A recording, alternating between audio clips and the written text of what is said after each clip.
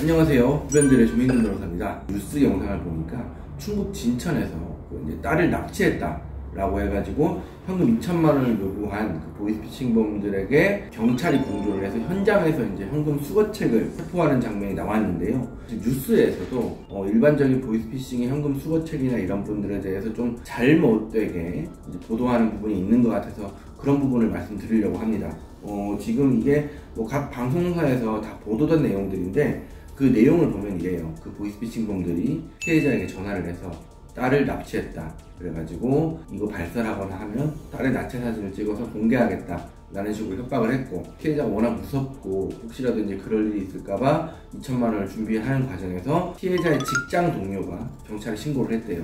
그런데 이제 피해자가 현금이 천만 원밖에 없다 보니까 2천만 원에 천만 원을 경찰이 사비로 충당을 해가지고 2천만 원에 대해서 현금 사진을 찍어서 전달을 했나봐요. 그 약속 장소에서 현금 수거책에게 현금을 전달해서 수거책이 현장에서 체포되는 장면까지 뉴스에 보도가 됐는데 이런 부분에서 댓글에 달린 거라든가 이런 것들을 보면 당연히 뭐 엄벌해야 된다, 사형에 처해라, 뭐 주검이나 요즘 수거책이나 전부 다 사형에 처해라. 라는 내용들이 많은데 실제 보이스피싱을 계획하고 조직하고 실행하는 사람들 전부 다 엄벌에 처해야 된다. 정확히 맞는 얘기입니다. 그런데 여기에서 수거책들은 좀 제대로 알지 못하는 부분이 있어서 저희가 이제 늘상 말씀을 드렸지만 그런 부분에 대해서 한번 다시 말씀을 드리고 싶은데요.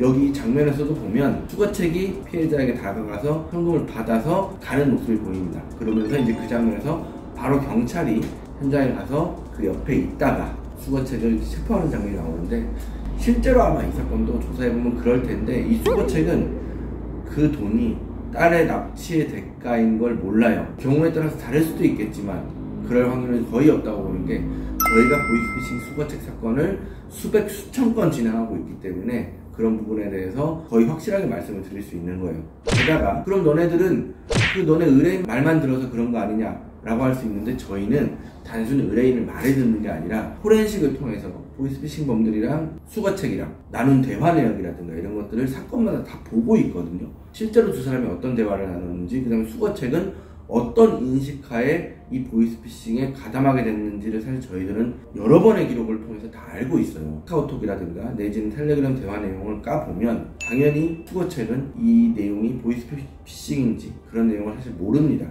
그걸 모르는 상태에서 현금을 전달받아가지고 그것들을 보이스피싱범의 지시에 따라서 송금을 하거나 아니면 다른 사람에게 넘겨주거나 하는 역할을 사실 맡거든요. 수거책이 잘못된 건 맞아요. 당연히 이제 수거책도 조금 더 주의를 기울이고 이것들에 문제가 없는지 좀 더 파악했으면 수거 자체를 하지 못했겠죠. 그런데 문제는 이 수거책은 여러분도 될 수 있다는 거예요. 아무런 범죄 의사 없는 사람들도 수거책으로 될 수 있다는 거거든요. 이 사람이 보이스피싱인 줄 알고 가담했다는 거에 대한 증거는 사실 전혀 없습니다. 그런데 뉴스에서는 이 수거책들이 보이스피싱범하고 똑같이 아는 것처럼 나오잖아요. 이게 잘못됐다는 거예요. 저희가 이런 것들을 좀 많이 말씀을 드리고 충분히 알리고 싶은데 뉴스에서는 그렇지 않은 것 같아요. 돈 받으려고 기다리는 이 아주머니가 보이스피싱의 주범인 것처럼 마치 그 사람들의 범죄 계획을 다 알고 있는 사람인 것처럼 보도가 되는 것이 사실 잘못된 것 같다라는 거예요. 보이스피싱 수거책 사실 아무나 될 수 있습니다. 좀 더 주의를 하시고 절대 어디서 돈을 받아가지고 전달을 하거나 뭐 추심업체다, 경매업체다 라고 해가지고 다른 사람에게 돈을 받아서 전달하는 일 이런 것들이 사실은 나도 모르는 사이에 다 보이스피싱 전달책 내지는 수거책이 될 수 있는 일이기 때문에 이런 것들을 정말 각별히 조심하셔야 됩니다. 그 언론사나 이런 쪽에서도 이런 부분들을 좀 더 정확히 파악을 하셔가지고 물론 실제로 처벌이 되고 있는 건 맞지만 현실적으로 사기죄의 공동전범 내지는 방조범이 되느냐 라는 법리로 따져보면 이 사람들은 주범의 범행 계획을 전혀 모르고 있고 그게 아니라고 믿고 있는 사람들이기 때문에 법리적으로도 사기죄가 성립하기 어려운 부분이 사실 많이 있거든요. 우리나라에서는 사실 보이스피싱 전달책을 무조건 나쁘다 나쁘다 저 사람들 뭐 사형에 처해야 된다 이렇게만 바라보지 마시고 보이스피싱이 이렇게 벌어집니다. 이런 전달책들은 아무것도 모르는데 아무것도 모르는 사이에 전달책이 되고 처벌될 수 있어요. 그러니까 정말 조심하세요. 이런 식으로 홍보를 해주시는 게 사실은